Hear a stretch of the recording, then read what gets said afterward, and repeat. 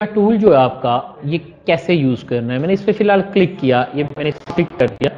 जैसे मैं artistic media tool पे क्लिक करता हूँ, आपके पास इसके अंदर कुछ ऑप्शन है। One two three four five six काफ़ी ऑप्शन है।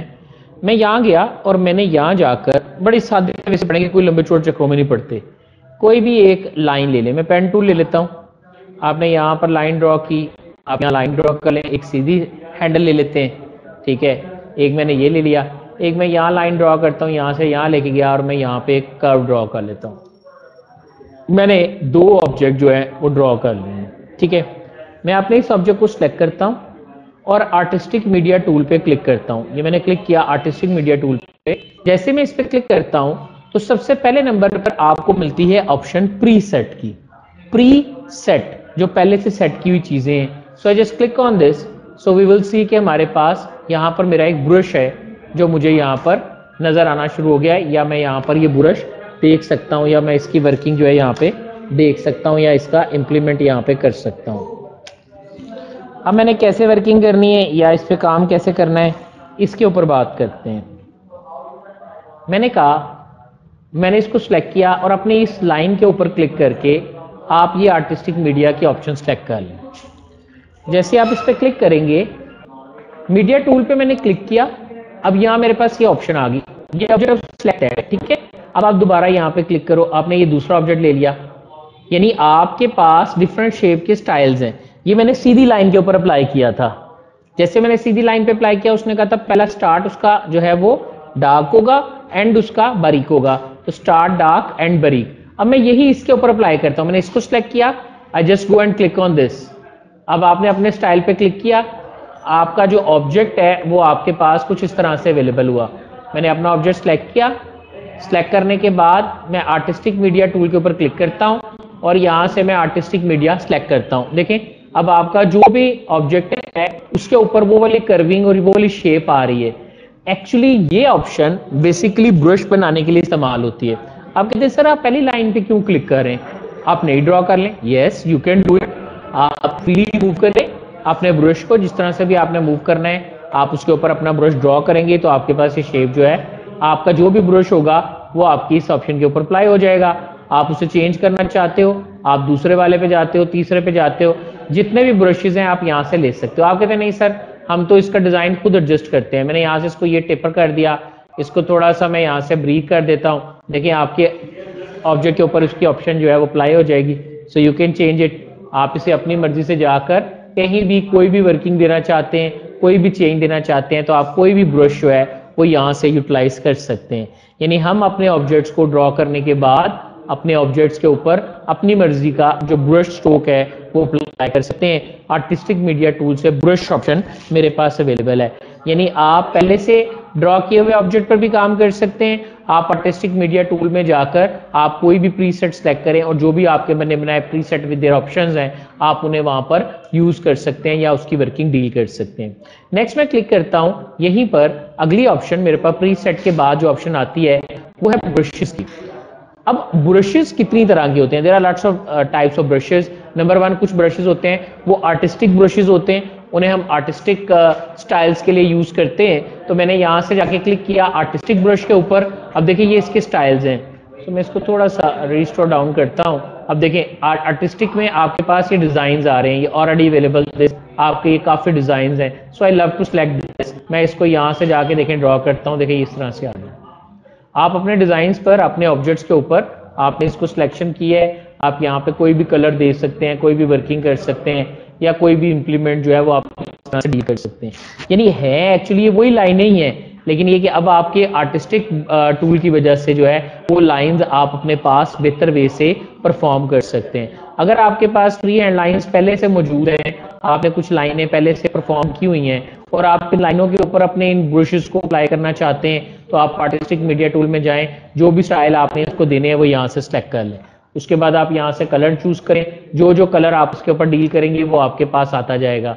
जो जो आपने उसके ऊपर इफ़ेक्ट करना है, आप कहते हैं, नहीं सर मुझे इसके अंदर जो वर्किंग है, वो कुछ ग्रेडियंट्स ही करनी है so I love to use with black shade तो मैं यहाँ जाकर इसको थोड़ा सा ब्लैक शेड के ऊपर क्लिक कर लेता हूँ। तो मैंने यहाँ से ग्रे शेड जो है, वो यूज़ कर लिया। वो मेरे पास ओके करने पर कुछ तरह से आया, देखें, आपके पास आपकी वर्किंग इस तरह से अवेलेबल आ गई है और आप अपने ऑब्जेक्ट को यहाँ पर और शेप में देख सकते हैं। यानी इसका मतलब ये हो गया कि कोई भी आर्टिस्टिक ऑप्शन जो है, मैं पहले से बने हुए ऑब्जेक्ट पे भी लगा सकता हूँ और नेम पर भी मैं क्लिक करता हूँ। अब की दफ़ा मैंने एक रेक्टेंगल सेलेक्ट किया and then I have to go and click on a circle so पहले वाली बात, जो पहले दिन से आज तक दो ऑब्जेक्ट हम जिसके ऊपर हमने बड़ा काम किया है, उसके ऊपर क्लिक कर दिया। अब मैं अपने आर्टिस्टिक ब्रश को सिलेक्ट करता हूँ। जो भी ब्रश मेरे पास था सर्कल मेरा सिलेक्टेड है, मैं यहाँ जाकर इसके ये वाला ऑप्शन अप्लाई करता हूँ। नाउ यू सी कि अब मैंने इतना कोई काम शाम नहीं किया, मैंने कोई डिज़ाइनिंग डिज़ाइनिंग नहीं की है। बट वो जहाँ से सर्कल को स्टार्ट ले रहा था और जहाँ पर सर्कल का एंड ले रहा था, उसके हिसाब से उसने जो भी ब्रश की सेटिंग थी, वो अप्लाई कर दी। आप चेंज करें, आपके पास उसकी वर्किंग चेंज होती जाती है।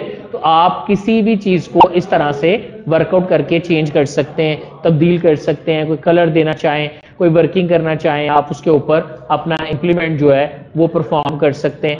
जो भी आप इनर फिल या आउटर फिल में वर्किंग करना चाहते हैं वो आप यहाँ से डील कर सकते हैं। Sorry I am not clicking on this just select on this. Click on uh, the one which I love most at a time. So देखें आपके पास आपका ऑब्जेक्ट जो है वो इस तरह से अवेलेबल है। अंदर फिल करना उस रेड आउटलाइन के अंदर फिल हुआ। बाहर फिल करना, आप यहाँ से जाकर अपनी आउटलाइन के बाहर को चेंज कर सकते हैं। यानी एक्चुअली ये है सर्कल है। अब ये आपके पास, आपका सर्कल ही है। बट आप देखिए कि इसके ऊपर जब मैंने आर्टिस्टिक मीडिया ऑप्शन अप्लाई किए हैं तो अब आपको ये ट्यूब की शक्ल में जो है, वो नज़र आ रहा है। आपके पास शेप टूल्स अवेलेबल है, आप इसके अंदर जाकर वही नोट लेना चाहते हैं नोट फिलिंग यानी जैसे पहले ऑब्जेक्ट पे काम करते थे बट अब आप देखिए उसके ऊपर इफ़ेक्ट हमारी मर्ज़ी का अप्लाई हो गया I just click on this shape मैं इस पर क्लिक करता हूँ, मैं इस पर क्लिक करके सिलेक्शन ज़रूरी है। आर्टिस्टिक मीडिया पे क्लिक करता हूँ। प्रीसेट कलर से अगर आप कोई भी कलर लेना चाहते हैं I love this one so मैं यहाँ पर जाकर ये वाला इफ़ेक्ट जो है, इसके ऊपर अप्लाई कर देता हूँ। मैं यहाँ से चले ब्रश लगाता हूँ। आर्टिस्टिक ब्रश है। आर्टिस्टिक के बाद आपके कैलीग्राफिकल ब्रशेज भी हैं। थोड़ी देर वेट करना है ये थोड़े से हैवी होंगे थोड़ा टाइम लेंगे। अब ये आपके आर्टिस्टिक ब्रशेज आ गए हैं। आप यहाँ से अपना आर्टिस्टिक ब्रश ले लें और अपने ऑब्जेक्ट के ऊपर जाकर आप अपना आर्टिस्टिक ब्रश जो है, वो यूज़ कर लें। आपके पास उसकी जो वर्किंग है, वो परफॉर्म होना शुरू हो जाएगी। मेरा ये ऑब्जेक्ट सिलेक्शन में नहीं था। अगर आप अपने ऑब्जेक्ट को प्रॉपर सिलेक्शन में लेके आते हैं तो भी अगर आप कहते हैं, नहीं सर हम तो वैसे ड्रॉ करना चाहें तो आप अपने ऑब्जेक्ट को किसी भी शेप को या किसी भी चीज़ के ऊपर कोई फ्रेमिंग करते वक्त या इस तरह की कोई भी वर्किंग करते वक्त आप यहाँ से अपना कोई भी कलर जो है वो इस तरह से डील कर सकते हैं। तो आपके पास ये आपकी ऑप्शंस हैं, जो आपको कुछ इस तरह से नज़र आ गई हैं। लाइट ज़्यादा हो गया है। तो आप इस तरह से कोई भी वर्कआउट जो है, अपने फ्रेम पर दे सकते हैं। सुबह टाइम से ही मैंने यहाँ पे कहा कि मेरे पास ये कुछ बने बनाए ब्रशेस कैलीग्राफिकल स्टाइल्स हैं वी हैव डिफरेंट ऑब्जेक्ट्स हैं। ऑब्जेक्ट लोड किया, आप एबल्स यूज़ करना चाहते हैं स्टोन्स यूज़ करना चाह रहे हैं जिग जैग यूज़ करना चाह रहे हैं। I love to select this मैंने इसको सेलेक्ट करके यहाँ ड्रॉ किया, ये आ गया अब आप देखें, आपको एक एक पेबल चाहिए था। आप एक एक पेबल यहाँ पे ड्रॉ करें, देखें। छोटे छोटे मैं स्टोन्स की तरह ड्रॉ कर रहा हूँ, मैं ड्रॉ लाइन ही कर रहा हूँ। लेकिन वो उस लाइन को क्या कर रहा है स्मॉल uh, स्टोन्स की शक्ल में जो है वो इसके ऊपर आर्टिस्टिक टूल जो है वो अप्लाई कर रहा है। मैं यहाँ पे इसको क्लोज करता हूँ इन सबको मैं यहाँ से सिलेक्ट करके यहाँ ले आता हूँ ठीक है? और अब आपको बड़ा करके दिखा रहा हूँ तो आप देख सकते हैं इस तरह से आ जाते हैं। आप कहते हैं नहीं सर हमारे पास ये ऑब्जेक्ट था मैं इसको बड़ा कर लेता हूँ। मैं यहाँ गया यहाँ जाके मैं इस पर राइट क्लिक करता हूँ। अनग्रुप की ऑप्शन आपको मिलती है। आपने यहाँ जाके कह दिया ग्रुप ऑब्जेक्ट जब आपने तो जोड़ा होता है अगर आप अनग्रुप ब्रेक पार्ट किया मैंने लाइन अलहदा की already we have discuss this अब आपके पास स्मॉल पिबल्स आ गए अनग्रुप करके आप इसमें से कोई भी पिबल स्टाइल एनिमेशन इफ़ेक्ट छोटी छोटी चीज़ों से मिलकर ये बना हुआ है। मैं सारा कुछ अलहदा करके देख सकता हूँ। बट नाउ क्वेश्चन इज़ मैं यहाँ से इसको रिमूव करता हूँ। I just go and click on this मैंने एक ऑब्जेक्ट ड्रॉ किया। I just make it green fill मैं यहाँ से एक और ऑब्जेक्ट ले लेता हूँ। इसको रहने देता हूँ। इसके साथ मैं इसको येलो कर देता हूँ। And then I go and select another one called star I love this one I just click on this मैंने ये तीनों ऑब्जेक्ट जो हैं, वो यहाँ पर सिलेक्ट कर लिए. मैंने ये तीनों ऑब्जेक्ट यहाँ पे बना लिए. तीनों को सिलेक्ट करने के बाद मैं, अब दोबारा देखिएगा आर्टिस्टिक मीडिया पे जाता हूँ. मैंने इनको तीनों को सिलेक्ट किया, ऐसे कर लें, या आप डायरेक्ट आर्टिस्टिक पे क्लिक करें. आप चाहते हैं कि आप अपने पास मुख्तलिफ़ लाइब्रेरीज को ओपन करें। अभी मैंने वो ऐड नहीं कर। रहा आई जस्ट क्लिक ये आपके पास मुख्तलिफ़ लाइब्रेरीज हैं, जो कि आपकी लोड हुई हुई हैं। आप फ़ूड रिलेटेड ऑब्जेक्ट देखना चाहते हैं, आप स्प्लिटर देख लें आप टेक्सचर देख लें। कोई भी आप जो यहाँ से स्क्रोलर्स हैं स्प्रेयर्स हैं तो आपके पास हर तरह के ब्रशेज जो हैं, वो आपको यहाँ पे मिल जाते हैं। जो भी आपको चाहिए, वो आप यहाँ से जाके सेलेक्ट करें और जिस तरह का भी चाहिए, वो आप यहाँ पे जाके अपना ऑब्जेक्ट जो है वो डील कर सकते हैं, यानी उसके मुताबिक आप अपनी वर्किंग जो है वो परफॉर्म कर सकते हैं। बट ये तो था पुराने बात। मैं चाहता हूँ कि आप उसे एक्सप्लोर करें। अगले वाले ऑब्जेक्ट के ऊपर आते हैं। ये मेरे पास स्प्रे है। मैंने स्प्रे पे क्लिक किया। जैसे मैंने स्प्रे पे क्लिक किया, मेरे पास कुछ फ़ूड के स्प्रे हैं, ठीक है? कुछ मेरे पास और हैं। मैं ये चाहता हूँ कि मैं अपने पास इन ऑब्जेक्ट को अपने स्प्रे पे ऐड कर लूँ। तो I just click on this tool spray की ऑप्शन मेरी सिलेक्टेड है। मुझे एक ऑप्शन मिलती है स्प्रे लिस्ट ऑप्शन मैं इस पर क्लिक करता हूँ। मैंने जैसे स्प्रे लिस्ट ऑप्शन पे क्लिक किया, मेरे पास काफ़ी ज़्यादा स्प्रे के आइटम्स जो हैं, वो अवेलेबल हैं, जो मेरे पास यहाँ आ रही हैं। अगर मैं यहाँ क्लिक करूँ तो देखें यहाँ पे आपके पास काफ़ी ज़्यादा और भी ऑप्शंस हैं, जो आपको यहाँ नज़र आती हैं। आपने क्या कहा? जी, आपने कहा, मैं क्या करना चाहता हूँ? मैं अपने पास कोई रेंडम स्प्रे या कोई और वर्किंग अपने पास ऐड करना चाह रहा हूँ, उन्हें रोटेट करना चाह रहा हूँ, या उसका ऑफसेट डिफाइन करना चाहता हूँ। मैं क्लिक करता हूँ अपने ऑब्जेक्ट के ऊपर। मैंने यहाँ जाके अपने ऑब्जेक्ट्स को सिलेक्ट किया। मैंने क्लिक किया यहाँ पे। अपने ऑब्जेक्ट्स को सिलेक्ट किया। थोड़ा सा ना स्टक हो रहा है सिस्टम ना। मैंने इसको सिलेक्ट किया और उसके बाद जाकर मैंने अपने स्प्रे को क्लिक करके ऐड पे क्लिक किया। So I have lots of other मैं यहाँ क्लियर कर देता हूँ। ये सारी लिस्ट जो है मैंने यहाँ से ख़त्म कर दी। ये भी मेरे यहाँ से अरे मूव कर देता हूँ तो।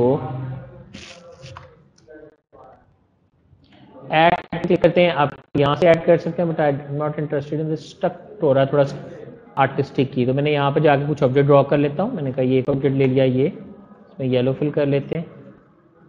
I just go with red one and I just make another one called blue